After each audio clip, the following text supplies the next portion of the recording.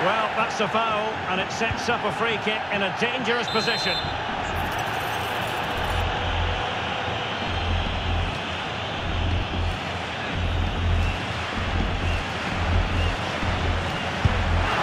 And a goal, almost bewitching in its beauty. Excellent technique.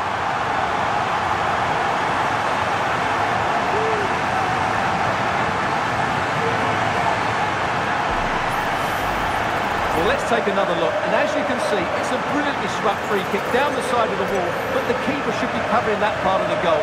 He'll be really disappointed with that.